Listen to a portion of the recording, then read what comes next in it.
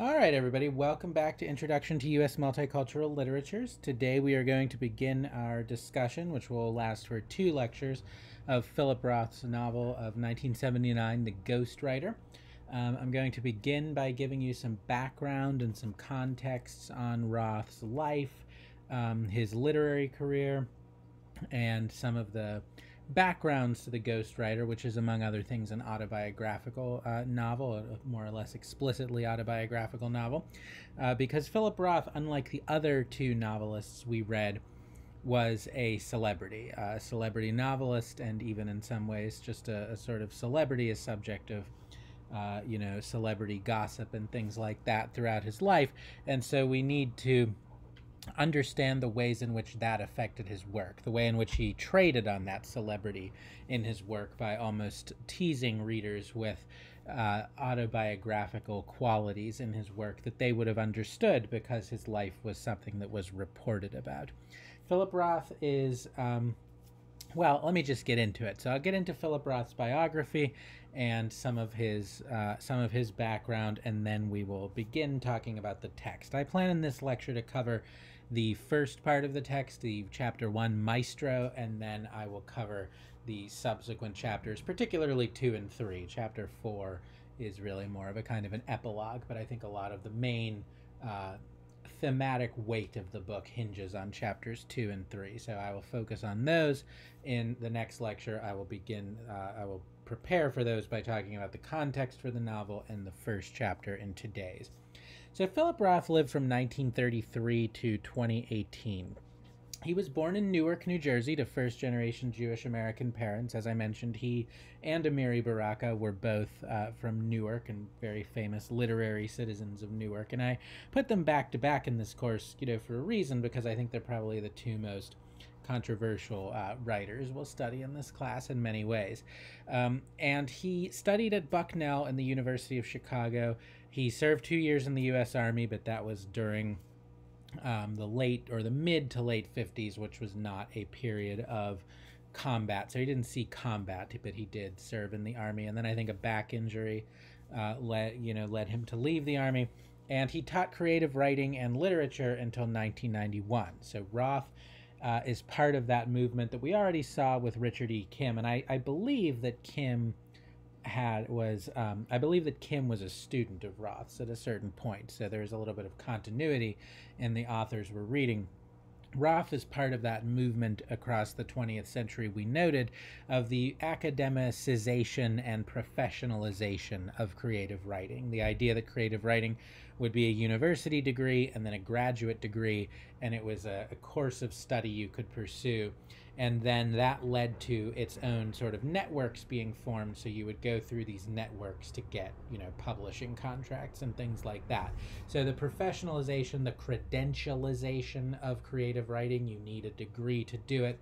That's something that's pretty new. You didn't you know that wasn't something that that was occurring even in the early 20th century. You know none of the authors we read whether Gertrude Stein or Ezra Pound or Langston Hughes or Nella Larsen had anything that looked like a degree in creative writing because it wasn't even something that really existed until um, I don't know. I don't want to be too categorical because I could be proven wrong with a single example, but it wasn't something that was common at all until the middle of the 20th century, and then it became exceedingly common. And Roth was part of that kind of network. Um, of teaching. I think his degrees were in English or comparative literature, but then he became a teacher of creative writing.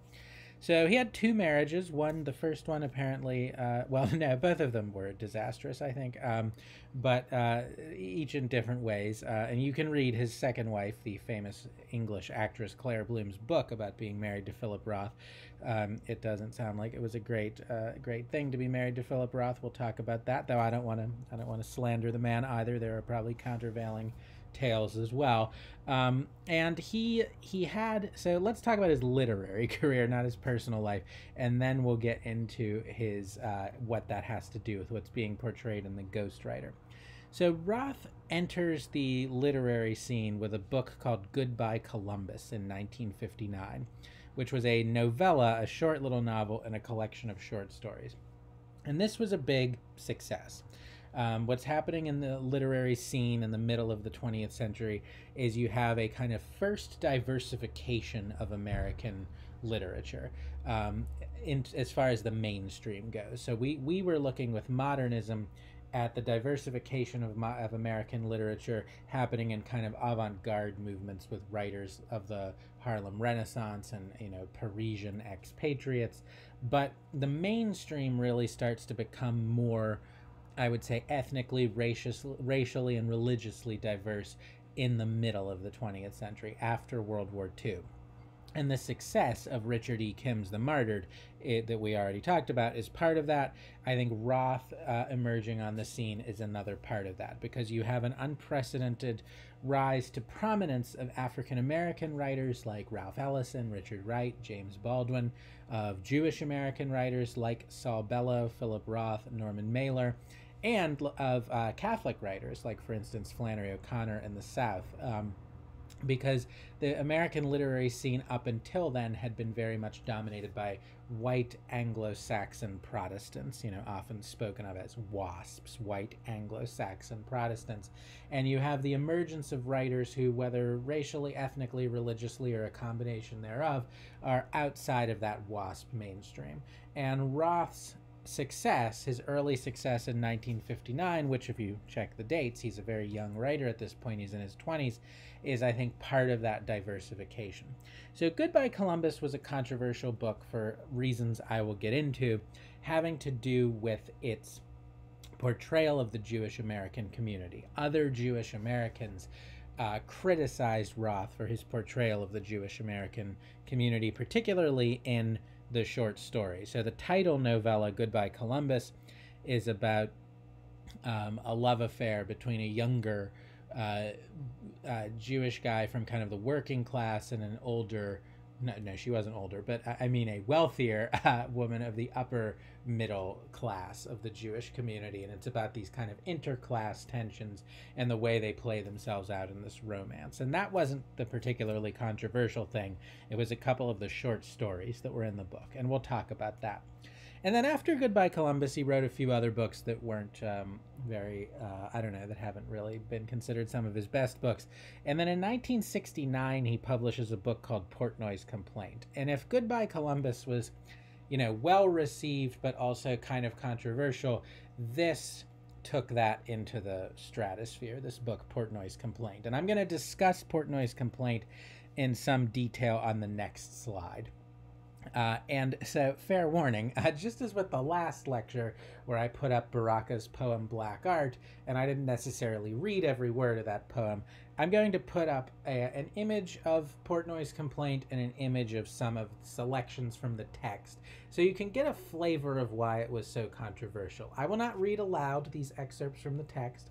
I don't want to be uh, saying these things in an educational context on video necessarily, but I do think you need to know what's in the book. Um, so I've put it on the slide, uh, and I'm going to talk about why he wrote that way and what came of it, what what that occasioned, what the response was, because I think you need that background to understand why.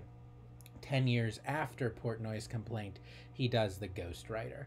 And then he has a subsequent career after that, which I'll talk about in a moment. So I'm going to go off of this slide onto the next one for a minute, and then I'm going to come back to this slide, and I'm going to explain what Barack Obama is doing there too. Um, so, uh, so fair warning. Next slide is uh, dirty. So here we go. Portnoy's Complaint, a novel of 1969 by Philip Roth. So Portnoy's Complaint is part of a broader moment in American or even Western fiction.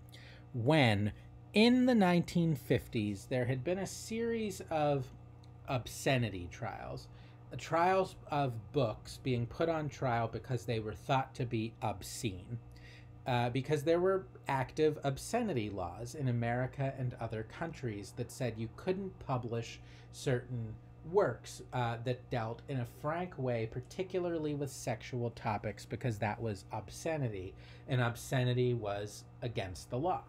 And so you have books. Uh, I mean, it starts in the moment of modernism with James Joyce's famous novel Ulysses, um, which is banned in America. It's published in 1922 in Europe, but it's banned in America until 1934 when a judge lifts the restriction.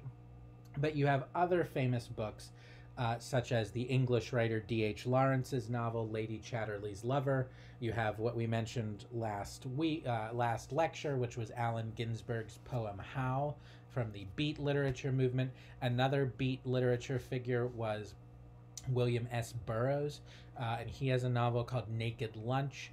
There was another American novel. I've actually never read this one, Henry Miller's Tropic of Cancer. I started reading it, but if there was anything in it other than obscenity, I couldn't detect it, so I never finished it. Uh, I did read the other books I've mentioned. So, all of these books Ulysses, Lady Chatterley's Lover, Naked Lunch, Howl, Tropic of Cancer they're all being put on trial for obscenity in the middle of the 20th century. And in pretty much every case, this is happening both in the United States and the United Kingdom.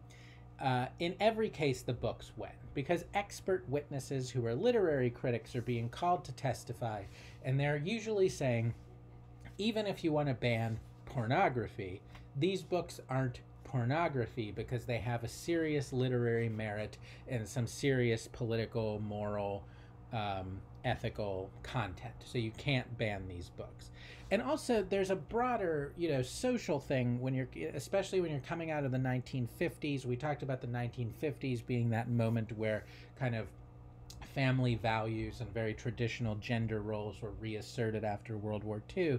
But that only lasted about a decade, and then you have the beginnings of the sexual revolution of the 1960s. So a lot of the um, a lot of the the basis of prosecuting literature for obscenity seemed to belong to a social order that was fading. There was a famous moment in the trial of the British novel Lady Chatterley's Lover that took place in England where the prosecutor said to one of the witnesses on the uh, on the stand who was defending the book for obscenity he said something like would you let your female servant read this book and so, and that suggested that the whole case for prosecuting obscenity came out of this old social order, this old class structure, this old sense of gender roles that were just fading by the time you're entering the second half of the 20th century.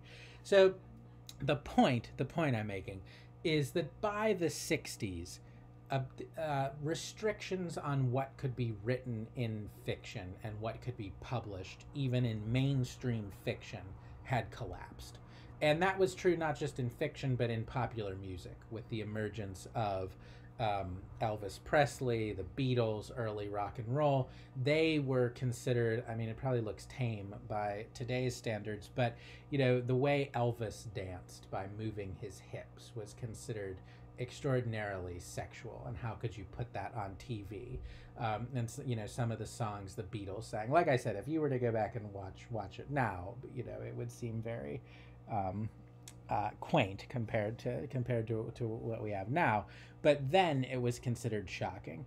And so I just put some lines on the slide from a po- uh, from a uh, some famous lines from a poem by a British poet named Philip Larkin, and he has a poem called Annus Mirabilis, uh, which translates from Latin the year of miracles, and he's referring to the year 1963. And people, when they talk about the sexual revolution, they often quote these lines. He says, Sexual intercourse began in 1963, which was rather late for me, between the end of the Chatterley ban and the Beatles' first LP.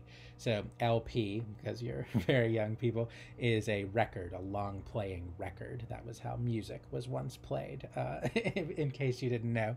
So what he's saying is between the end of the ban on the novel Lady Chatterley's Lover for Obscenity, between the lifting of that prohibition and the first record of the Beatles, that's when sexual intercourse began in other words. Of course he's exaggerating but what he means is this is when you could talk about sex in society.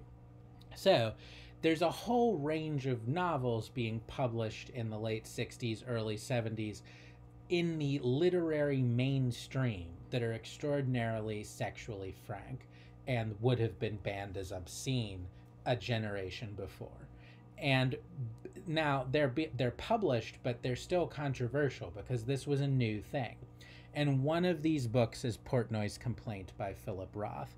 Uh, as you can see, I have an image of uh, this is an actual photo I took of a, the paperback copy I own of this book, which was which was given to me by my father when I was a teenager, um, and so you know because it was a notorious book, and you know it was uh, well you know whatever. I still own this book. It's the paperback from the early '70s that my dad bought when he was a teenager because it was like a scandalous, dirty book that like people wanted to read to see what the scandal was. So, uh, so what's the book about? Well, it is about a young um, Jewish American boys coming of sexual age and dealing with the conflict between his growing sexuality and what he felt was the weight of moral prohibition coming from his Jewish American parents who were uh, who were the children of immigrants and who were upwardly mobile and who wanted to strive and succeed in society um, and therefore wanted their kid, their son, Alexander Portnoy, to lead a respectable middle class life. And yet, he's constantly finding that this desire his parents have for respectability is conflicting with his libidinous desiring urges, which are detailed in you know passages that uh, you can see on the slide. Now the title Portnoy's complaint. So the the whole book is. I promise you this is relevant to the Ghostwriter, by the way, but I'm getting to it. The whole uh, uh, basis of the book is it's narrated in the first person by Portnoy as he's explaining this problem to his psychologist, to his psychoanalyst. He's explaining the problems he's had in his life. So it's this monologue coming from the from a you know psychologist session. And so the title portnoy's complaint it's both his complaining about his his sort of almost it's it's very self-deprecating his sort of uh, just almost whining about his life but also his complaint in the medical sense. What is his illness? And the psychologist decides you know portnoy's complaint this illness is a disorder in which strongly felt ethical and altruistic impulses are perpetually warring with extreme sexual longings, often of a perverse nature. So, this problem between wanting to do the right thing and also wanting all of these things that are considered base, degraded. And I this is I think if you read the Ghostwriter, even the first half, you'll see that that's a conflict in the ghostwriter. And what's interesting about the ghostwriter is it's not simply or even mainly sexual in the ghostwriter. I think roth is famous notorious in some quarters for the way he writes about sex but he also writes about a lot of other stuff. And in the ghostwriter it's about it's about that other stuff.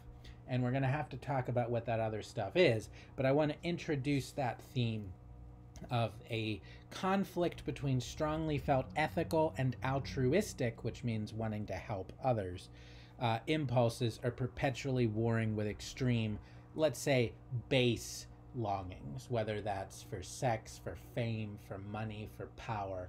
That's uh, an issue in Roth's work. But I want to be clear. I so I also excerpted on this slide um, the review from the Washington Post, which is a you know famous mainstream newspaper back then and today, and the review that's quoted on the you know inside of the book the reviewer said the most important book of my generation. I have never in my experience heard a book so generally discussed with such evidence evident excitement and delight or with such intelligence. We recognize in the process of portnoy's confession things about ourselves we did not know we knew so well. So it wasn't just that this book was a what they call a, uh, in French a success de scandale, a, a, a success because it's a scandal. It was seen at the time to have literary merit, and it was seen to speak for people, to speak for people who themselves felt repressed whether you know both within and without the Jewish American community. Uh, people felt that there was a, a, weight of the old order repressing their urges, repressing their desires, and this book spoke against that. And we can see then that this is related to the poetry that we were reading in the last lecture of the social movements of the 60s, everyone trying to cast off these restraints of an old order. So Roth becomes not just a uh, celebrated writer, which he was when his first book, Goodbye Columbus, was published in 1959.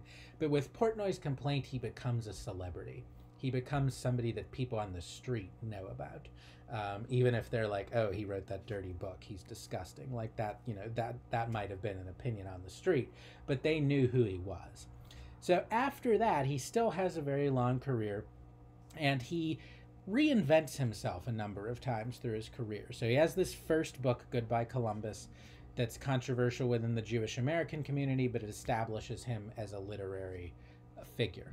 Then he has Portnoy's Complaint, this famously dirty book in 1969 that makes him a celebrity.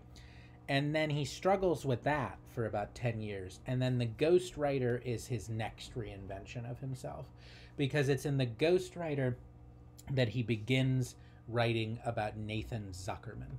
Nathan Zuckerman is his alter ego, his stand in, this thinly veiled autobiographical uh, person through whom Roth can now fully discuss his early life. And then in the books after The Ghostwriter, Nathan Zuckerman publishes a book like Portnoy's Complaint, and it's it through Zuckerman that Roth discusses what this celebrity did to his life and then he reinvents himself in the 90s because Nathan Zuckerman begins telling the stories of other people he knows in a series of works called the American Trilogy from 1997 to 2000, in which Zuckerman, instead of because the charge against Roth about the book st- coming from the ghostwriter about Zuckerman was he was narcissistic. He's only writing about himself, he only cares about himself. And so Zuckerman, his autobiographical character in the books of the American trilogy, begins writing about the stories of other people that are symbolic of the changes in American life that have been happening in the 20th century. So the first book of the American trilogy is about the protests of the 1960s. The second book is about McCarthyism. The third book is about the Clinton impeachment and the atmosphere around that in the 90s. And it's with the American trilogy that Roth becomes. So he'd been a respected writer among writers. He'd been controversial within the Jewish American community. Then he was broadly controversial and even notorious because of Portnoy's complaint. But in the late 90s, he becomes a generally respected and beloved writer because of the American trilogy. And so I think my two pictures on this slide are indicative of these two Roths the Roth who's, you know, pointing at you, joking with you, laughing at you, trying to provoke you, trying to confront you, trying to shock you. Because let's be clear, in a lot of his work, he was trying to be controversial. He was trying to provoke, to shock, to offend, because he thought that was part of the writer's mission, that he thought that was how you got rid of the repression that bore down on people in society. You had to point, you had to prod, you had to provoke. He wanted, in some ways, to be hated, I think. He wanted to be controversial. He thought it was a sign that he was doing what he had to do as a writer. And yet, by the end of his life, um, he had become an institution, a revered figure. And that's my second image, where uh, Barack Obama awarded him in, um, I didn't note the year, sometime I think in like, let's say 2010 or 2011 or so, Barack Obama awarded him, I think, one of the uh, presidential medals of the arts and you know put this medal on him. And barack obama in fact who was a very literary uh, guy had said that roth's work was something he loved when he was young because he thought that the way roth wrote about his struggle with his identity as a jewish american uh, resonated with Barack Obama and the way he felt that he had struggled with his identity as a young African American. So Obama was a big fan of Roth, and so he he sort of honored him. Though you might be wondering about the you know the politics of it. One of the things about Roth is he was attacked from all sides politically throughout his life because the political right thought he was obscene and thought he was sort of degrading art and literature with his um, with his uh, supposed obscenity but the left also didn't like him either because he because particularly the feminist left because he wrote unapologetically about sex from a male point of view a heterosexual male's point of view. And as you can see in the ghostwriter he did not um, he didn't uh, evade the the objectifying of women, the the appetite, you know, toward women that was that was often, um, you know, not in line with feminism, and so he was often attacked on that basis for his work. Uh, though he's had defenders on that basis too. Uh, it's a it's a tough question, and we're not going to be able to settle it through reading the Ghostwriter because that's not mainly what the Ghostwriter is about. I think one thing I would say about that though is that um, one of the the the critiques that feminism always made of the male writer, you know, uh, considered in general, was that the male writer passed off the male point of view when writing about women as if it were universal, and it sort of claimed the right for men to speak for women. And I think that was very much true of you know a lot of older novelists uh, you know classic european novelists they often wrote about women as if they they understood everything about women and they could have the last word. And so they passed off a male perspective as a universal one and passed off their often their sexist writing as the universal truth. I think roth never did that I think Roth's work always comes from a clear point of view, a clear place. It never pretends to be the universal. It's always coming from this man, in this man's body, in this man's position. And so, in that sense, this will sound a little bit perverse to say, but I think Roth's books could only have been written, you know, in you know contemporaneously with feminism. His books um, are, in a way, cognizant of the feminist critique. Uh, but that doesn't mean that the content in them isn't isn't sexist. So I want to flag those issues, um, and uh, but like I said, it's not. I don't think it's it's in the Ghostwriter that we really find that topic uh, addressed. You'd have to look at some of his other works to see if you agree with the feminist critique or with, in fact, the feminist defenders, which Roth has. So, uh, so I don't know. Um, but like I said, by the end of his life, he was still, you know, considered somewhat controversial. But by the end of his life, he, he was a fairly respected writer. So, what is the Ghostwriter about? Why do I want to talk about the Ghostwriter in particular in a class called Introduction to Multicultural Literatures? I want to talk about it because I I think that it's probably one of the best books that I'm aware of that's about something I mentioned in the course description on the syllabus, which is this the, the following issue. What is the responsibility of a writer who belongs to a community that has been marginalized or oppressed toward that community? And particularly in the writing. Does a writer who belongs to a community that's been marginalized or oppressed have an obligation to write against that oppression, to write about that community, to be a representative of that community, to be a positive representative of that community, to mainly write positive things about that community in order to contest the way in which they have been marginalized or oppressed? Or does the writer, uh, should the writer just be pledged to tell the truth? About that community and represent it in all of its um, complexity because I, I, assume we all agree that every community has um, has flaws as well that could be represented in literature. So that to me is the main thing the ghostwriter is about. If you want like if you want a big uh, high level summary of why I think it's an interesting book because it's a sustained inquiry into that question. It's about a young writer who is a Jewish American writer in the middle of the 20th century, just a decade after the Holocaust, in, a, in an American society that's still very much, um, you know, under the the I would say the dominance of an Anglo-Saxon Protestant culture that is in many ways highly anti-Semitic, and Roth is asking, what is the writer's responsibility? We've seen other, you know, We've seen other versions of this question before. Um, we saw, for instance, in The Negro Speaks of Rivers, Langston Hughes seeming to identify himself with the history of people of color and of the African diaspora. So he sort of he writes in an I that is a we. I've known rivers all the way back to Mesopotamia. Okay. We've seen Amiri Baraka, and I think Baraka, I think one of the things that's interesting about considering Roth and Baraka together is in some ways I think they represent the two extreme positions you could take on this topic.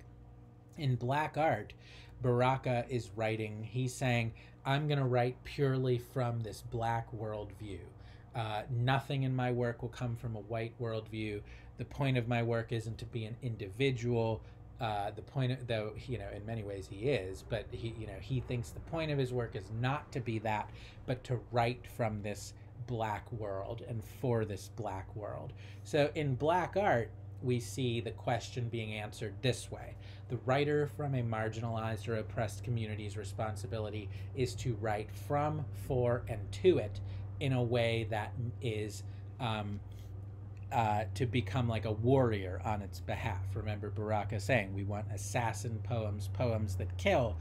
You know, kill whom? Kill the enemies of the black community. We want poems, we want literature that is a weapon for that community. Roth, there's going to be many complications there's going to be many issues, there's going to be many subtleties. But I think Roth is generally, at least in the mind of his reading public, associated with the opposite position. That the writer is an individual first and foremost, and an individual who will tell the truth no matter what, no matter who gets hurt. Um, and that, I think, is why I think there are two writers to look at in in succession because they represent the two views on this topic at, at you know at, at these extremes so but like i said there's going to be a lot of complexity. Roth does not come by this opinion if we think he comes by it cheaply. He doesn't come by it easily. He he knows what the counter arguments are and he represents them i think very fairly in the ghostwriter. So uh, what's all that have to do with this slide i've pulled up? So i just want to point out that the dilemma Nathan Zuckerman faces in The Ghostwriter is a dilemma Roth faced in his own life. And it is detailed in a kind of little uh, uh, an autobi or uh, sorry a biography of Roth that was written in 2013 called Roth Unbound: A Writer in His Books by a writer named Claudia Roth Pierpont, who's not related to Philip Roth. Um, in fact, there's a famous joke that she tells about when the night she met him, they were at a dinner party, and she's, you know, somebody said, "This is Claudia Roth Pierpont," and he was like, "Roth? Are we?" You know, and she she was, and she and he looked at her, and he said, "This is probably not a funny joke uh, in in certain ways," but he looked at her and he said, "Did we used to be married?" Um, which whatever I don't know. People said Philip Roth was very funny in person. I don't know if you think that's funny, but anyway, they became friends, and she wrote this kind of friendly biography of him. In fact, when I mentioned um, people who, uh, uh, feminists who defend Roth's work from a feminist perspective, she's among them, and you can find some of that in this book. But that's not what I'm interested in. I'm, I'm rambling. Uh, let me get to the point. She details the incident in Roth's life that I think gave rise to the ghostwriter. So I'm just going to read this. In 1962, Roth, who was teaching at the University of Iowa, accepted an invitation to speak at Yeshiva University in New York in a symposium titled The Crisis of Conscience in Minority Writers of Fiction. His fellow speakers were Ralph Ellison, whose depiction of Negro family life in Invisible Man had brought charges of defamation from his own community, and Pietro di Donato, the author of a novel about Italian immigrants, Christ in Concrete, that had been a bestseller in the 30s. But it was clear from the start that Roth was the center of interest. As he describes the event in his autobiographical volume, The Facts, the tone was set by the moderator's opening question Mr. Roth, would you write the same stories you've written if you were living in Nazi Germany? The prolonged attacks that followed left him in something like a state of shock, barely able to reply coherently to the questions and statements that were hurled at the stage and overcome by the realization that I was not just opposed but hated. In sympathy, Ellison took up his defense. Roth remembers Ellison stating in regard to his own work that he refused to be a cog in the machinery of civil rights. Nevertheless, upon leaving the stage, Roth was surrounded by a still unsated, fish shaking crowd. He escaped them at last with his wife and his editor, and in the safety of the stage delicatessen over a pastrami sandwich, he vowed, I'll never write about Jews again. And he didn't. His next couple books were not focused on Jewish characters, but then in his subsequent career, he did return to Jewish American themes. Um, but the point is, he had written a couple of short stories that depicted what he saw as um, certain flaws within the Jewish American community, and other Jewish Americans attacked him. They said, We are living, we are a minority in this society. We are under threat from prejudice and bigotry and discrimination, and you writing in this way is giving ammunition to our enemies.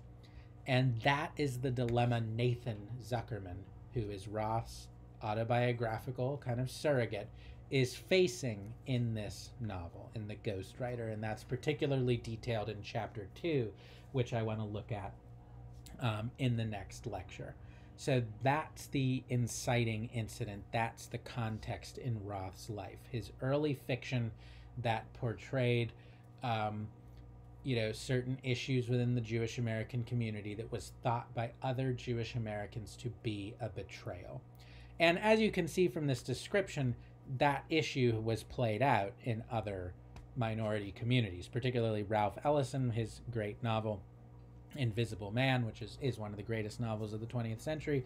I'd like to teach it in this course, but it's just, I think, too long.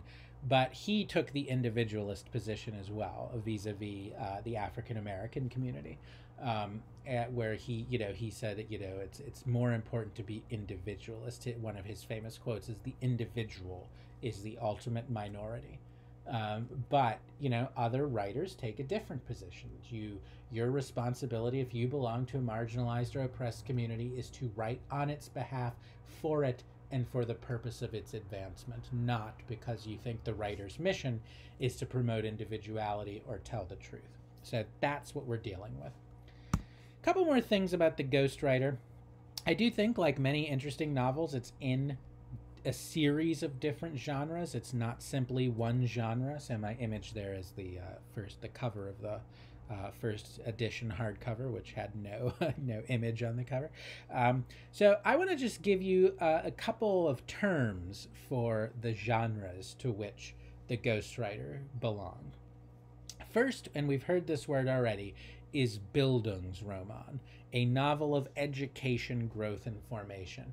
And how do we know this is a Bildungsroman? Because it pretty much says so on the first page. And we're going to look at that. We're going to look at the opening uh, paragraph in which Nathan writes about wanting to write a Bildungsroman.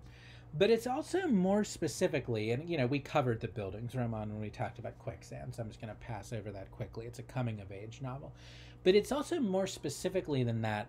There's another long German word, which is Künstlerroman. I think I'm not a good Germanist, but I think it's Künstlerroman, which is an artist's Bildungsroman, a novel about an artist's education, growth, and formation, how an artist, you know, including writers, come to be an artist. And it alludes in several passages to other Künstlerromans, to prior artists' buildings Bildungsroman, ani, uh, Bildungsromane, the plural of Bildungsroman.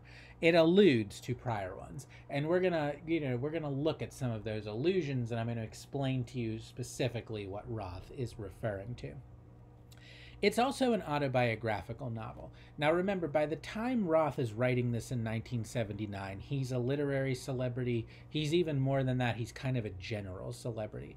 So when people pick up this book and read it, they're noticing all the parallels to his own life, which have been written about in magazine profiles, have been shown in television interviews, have been talked about in gossip columns they know that he's writing about his own life, his readers, by the time they read it. And so the point of, you know, any novel can be autobiographical. I'm sure there's autobiographical elements in both Quicksand and The Martyred, but the audience wouldn't necessarily know that because Richard E. Kim and Nella Larsen weren't celebrities when those books were published. Roth was. So the audience knows it's autobiographical, knows it's more than fiction, and there's a teasing quality because he changes some details.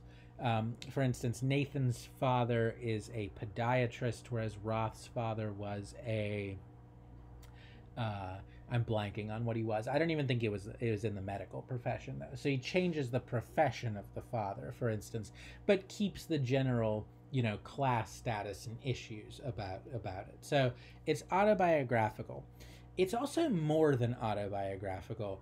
It's a and now we must go from german to french it's a roman à which is that literally means a novel with a key which means that the characters in it stand in for real usually well-known people. So it's not just that this is an autobiographical novel about experiences Roth might have had. It's that the other characters are also people that the audience would know about in real life. They're just under sort of false names in the novel. And in particular, the character of E.I. Lonoff and the character of Felix Abravanel are based on other famous Jewish American writers, as I'll detail in the next slide. So Roth is not only toying with readers' awareness of his own life, he's toying with readers' awareness of Jewish American literature, who its main figures are, and how Roth might have known them. Finally, my last two uh, points here on the slide it's the beginning of a sequence of novels about Nathan Zuckerman. I think all in all, there ended up being, let's see, eight or nine. And when you have a series of novels like that, the French have a beautiful phrase. Uh, I, I, just put it on here for the sake of the beauty of the phrase a roman fleuve, or a river novel. And why is it called a river novel? Because it, you know, it's a series of novels where the narrative flows from book to book. So it goes from the ghostwriter to the next book, which I think is Zuckerman Bound, to the next book, which I think is the anatomy lesson, and so on. So I, I just I just like the phrase roman fleuve. You should work that into your everyday conversation. And then finally, it's a work of metafiction. This is a novel of the postmodern moment in literature, and one of the key aspects of postmodernism in literature is metafiction, a work of fiction that clearly reminds you that it's fiction. How does the ghostwriter do that? Well, it's a it's a book it's a novel about a novelist. It's a novel about two novelists. It's a novel about how novels are written. It's fiction about how fiction is written. It's fiction about the role of the fiction writer in society. And it's full of references to, you know, its own status as a Bildungsroman, its own status as a work of fiction. So it's a meta fictional work, and we want to get into some of the details of that too um, as we look at some of the passages. One more thing before we get into it. I don't really want to dwell on this because it doesn't matter if you're not. Um, I don't think appreciating this book hinges on knowing what I'm about to tell you, but I think it's worth knowing. And what's worth knowing is, as I mentioned, this novel is a roman à clef. That is a novel with a key, a novel where the characters are thinly veiled portraits of other famous people. So I mentioned that E.I. Lonoff and Felix Abravanel, who are the two um, older Jewish American writers that Nathan Zuckerman looks up to as mentors, are based on other famous Jewish American writers. And it's not that simple. It's not that you know uh, Lonoff represents one famous Jewish American writer and Abravanel represents another. They're each kind of combinations of two. But what I think Roth is trying to do is suggest that in the older generation of Jewish American writers, there had been these two types of writers. There had been these two paths you could take. You could do the you could do one thing um, which is represented by Lonoff, and you could do another thing, which is represented by Abravanel. And Roth is trying to, you know, he's writing about how when he was starting out as a young writer, he needed to find his place. He needed to find what he would do given these two options. So Lonoff is, uh, so I quoted a critic off on the side of this slide on the right side, where Lonoff is a combination of Bernard Malamud and I.B. Singer, Isaac Bashevis Singer.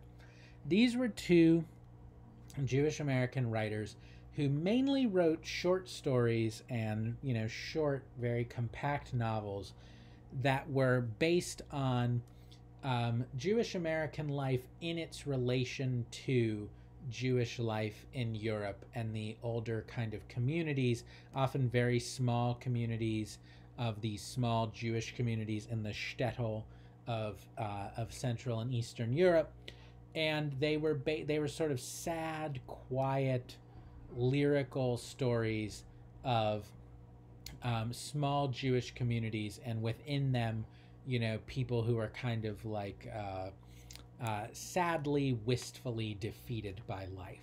So that's what Lonoff represents. That one path, writing about Jewish life in this sort of downbeat tone, in this lyrical tone, in this way that focuses on its connection with the kind of village life of Central and Eastern Europe.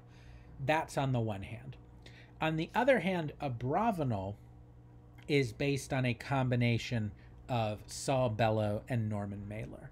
And these were two writers who sort of preceded Roth in celebrity, particularly Norman Mailer. He's pictured there on my slide, arm wrestling with Muhammad Ali.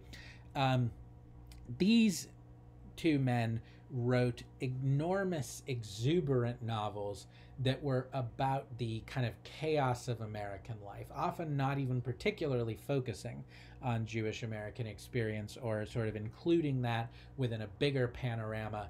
Unlike Malamud and Singer, their work didn't look to the past, it didn't look to Europe necessarily. It was focused on the chaos, the exuberance, the diversity, the plurality, the scandal of American life. And their, their works also preceded uh, Roth, particularly in Mailer's case of being controversially, uh, uh, quote unquote, obscene, dealing frankly with sex and being, you know, kind of egotistical. They often wrote characters who were stand ins for themselves. That's why when um, Lonoff is talking about Abravanel, who's the writer that Nathan first seeks out for mentorship before going to Lonoff, he says it's no picnic up there in the egosphere because they were considered um, egotistical writers, writers who were very focused on the self. So that is another important context for the ghostwriter. Roth looking back at his own, you know, starting out in literature and seeing these two paths before him. Would he be a Lonoff or an Abravanel? Would he be a Malamud Singer writer? Would he be a Mailer Bellow writer?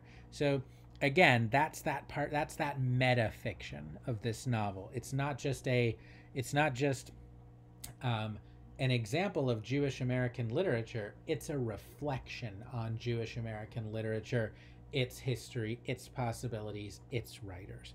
But as I said, I think you can enjoy this book without necessarily knowing that, you know, knowing about Malamud, Singer, Mailer, and Bellow. I don't think you have to know who they are to get what's being said. But I, I do think it's part of the way people, you know, reading this book in 1979 when I think every writer pictured here was still alive, was still writing, was still famous, would have picked up on that. And that's signaled by, you know, I quoted from John Leonard's review of this novel from 1979, and he picks up on it right away. And I think a lot of the early readers would have, but it's not necessary.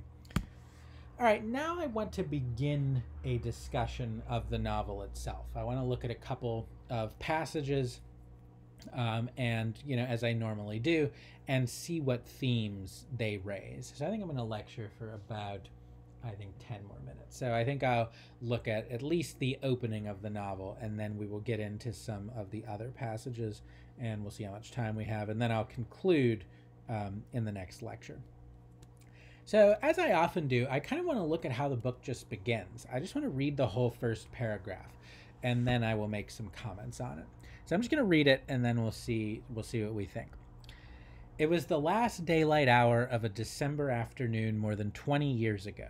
I was 23, writing and publishing my first short stories, and like many a Bildungsroman hero before me, already contemplating my own massive Bildungsroman when I arrived at his hideaway to meet the great man.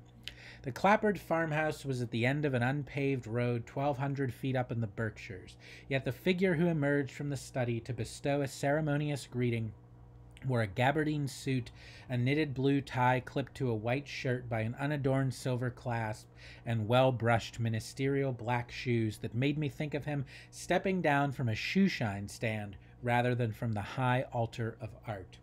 Before I had composure enough to notice the commanding autocratic angle at which he held his chin, or the regal, meticulous, rather dainty care he took to arrange his clothes before sitting, to notice anything really other than that I had miraculously made it from my unliterary origins to here, to him. My impression was that E.I. Lonoff looked more like the local superintendent of schools than the region's most original storyteller since Melville and Hawthorne. So I want to point out a few things in this passage. So, first of all, we're given we're given the setting right away. It's uh, December at a farmhouse in the Berkshires. So the Berkshires are a kind of rural community in western Massachusetts. And the Berkshires have a pretty famous history in classic American literature because, as you note at the end of this paragraph, Nathaniel Hawthorne and Herman Melville both lived there for a time. And they were two of the major American writers of the 19th century, two of the major writers that put American literature when the country was still young on the map of world literature. So when when you know Lonoff by living there is I think claiming a place in that lineage of American literature. Now what's interesting is that Melville and Hawthorne both in different ways represent that um, white Anglo-Saxon, maybe not in Melville's case, I think he was Dutch, but that let's just say white Protestant dominance of American literature. They both represent that white Protestant tradition that sort of, you know, claimed as its own the territory of New England was very much identified with the countryside of New England. Whereas, um, and I think this is raised in a poem we didn't get to discuss, but which I asked you to read, which is Gerald Stern's Behaving Like a Jew. In the Jewish American tradition, it tended because it was an immigrant tradition and immigrants of all backgrounds tended to enter the United States through America's cities, it tended to be an urban phenomenon. Um, and so claiming that's why in the opening pages of the Ghostwriter, when Zuckerman is talking about what New York editors and New York writers say about Lonoff, they're sort of laughing about, oh, what's he doing up there in the countryside? What's he doing up there um, in, you know, in rural New England, as if that were a strange place for a Jewish American person to be. I think it comes from that idea, uh, and again, I don't think it's just limited to to Jewish American people, but to people of immigrant backgrounds, that being of an immigrant background, that's an urban thing you come in, you enter through the cities, you live in the city, and the rural, the countryside, that belongs to, you know, again, this white Anglo-Saxon Protestant, uh, at least in the north, where you know it might belong to whatever. If we want to get into the the regional ethnicities of America, the Scots Irish or something in the south, but in the north, that white Anglo-Saxon dominance. So in that sense the setting has this the setting asks us this question which is the following. If you are a member of somebody of a group that's outside of that white Anglo Saxon Protestant dominance of literature, can you just step into the tradition? Can you just consider yourself a descendant of Melville and Hawthorne?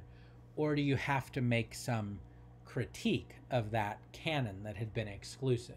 And we've seen different positions on this throughout our course already. We saw for instance, writing from the stand from a kind of feminist standpoint, we saw Muriel Rukeyser. No more mythology. She's going to reject that tradition. That tradition, that dominant, in her case, the dominant male tradition, was oppressive to her. To write as a woman, she had to reject it. We saw, by contrast, uh, Robert Hayden writing from an African American position, um, quoting from, adopting, bringing into his own work in, I think, a way meant to signal its universality, quotations from Shakespeare, from T.S. Eliot, from Samuel Taylor Coleridge, from that white European or Euro American canon.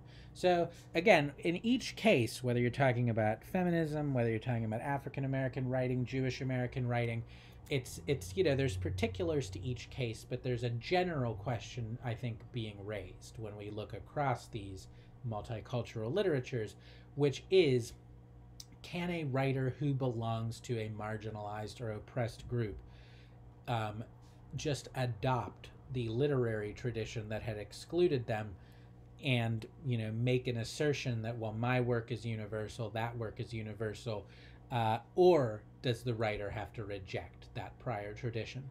And i think when Lonoff sort of steps into the place occupied literally by melville and hawthorne steps into their region that's the question being asked there. Um, so that's number one. That's the first thing i want to point out about this passage is the significance of the setting. Um, and also its position. This is a novel written in 1979, but it's set 20 years before. So it's a novel set in the 1950s. Um, so it's set in that moment of sober, disillusioned, tragic realism, and Roth knows it. Uh, Roth is going to signal how how different the 60, the 50s were from the 60s, from what followed uh, in later passages. So next thing I want to note is Nathan Zuckerman uh, refers to himself, uh, you know, this might be what somebody might call a little too on the nose. He refers to himself as a Bildungsroman hero. So this is a meta Bildungsroman. This is a coming of age story about coming of age stories. It's a coming of age story that knows it's a coming of age story. So it's constantly um, asking us to ask what kind of Bildungsroman is this? What does it have to do with other kinds of coming of age stories? What is its relation to the literary tradition? That's uh, the second thing I want to point out about this passage. And the third thing I want to point out about this passage is this. If there's a central theme in Roth's work that isn't just about, you know, the two things that his work is often said to be about are about male sexuality, heterosexual male sexuality, and the Jewish American experience, and often these two things in concert. But if I were to zoom even further out and give you a big philosophical thing that Roth is concerned with, it's again that question of, you know, what controls life? Is it high ideals? Is it noble ideals? Or is life controlled by baser desires? Desires whether for sex, which he writes about a lot, or for other things power, money, fame, renown. And the movement in this paragraph is a de idealizing one. And there's a constant, I think, de idealizing throughout the novel, as throughout Roth's work. He's always showing you that seemingly noble ideals rest on the very shaky foundations of the realities of the human body, the realities of human appetites and needs. And we see that when Lonoff, because Zuckerman goes to Lonoff hoping to find somebody from the high altar of art, this kind of priest of art. And you'll note there's a kind of persistent um, Christian language around the idealism of art. And yet, what he finds is something much more mundane throughout this novel. He says, I thought he was going to step down from the high altar of art, but he looked more like he was stepping down from a shoe shine stand. And he looks more like the local superintendent of schools than like some great author. But I think the point of this book, the point this book, uh, one of the many points this book is going to make in its metafictional reflection on literature, is that any author is, you know, stepping down from the shoe shine stand and just looks like a local. Any author is just a person. It's just a human being with human needs and human desires and human appetites. And the idealism of art, and as I think we'll get into in the next lecture, other kinds of idealism are false. Uh, and they're, they're false idols that need to be smashed so that you can see the, re- the human base reality beneath them. So, how is that going to play itself out in the rest of the book? Um, I think I've been talking for about an hour. So, I'm going to end it here with my reflection on the opening paragraph. And then I want to focus um, on a few more passages from the first uh, section where uh, Nathan is talking about his desire for Lonoff to be his sort of spiritual father. We need to understand what that's all about, and we need to understand how this book is positioning itself in relation to prior works of literature, both um, Jewish, Jewish American, Jewish European, European. It's positioning itself in a in a kind of world history of literature. So we need to look at that, and then I want to get into the issues of the Jewish American writer's responsibilities when faced with anti Semitism, and then how that plays out. I, I don't expect you to finish the novel by then, so there's a, uh, a very strange and shocking twist in the third chapter. Uh, if you haven't read it, let me say that to kind of entice you to finish reading it. And that's the thing this book is known for, is the sort of shocking uh, transition in the third chapter and I'm not going to spoil it for you, but it's going to open a whole other series of issues that we're going to need to confront. So, for you know, before the next lecture, please finish reading the book, and then I will uh, conclude my discussion of Roth's The Ghost Writer. In the meantime, thanks very much, and have a great day.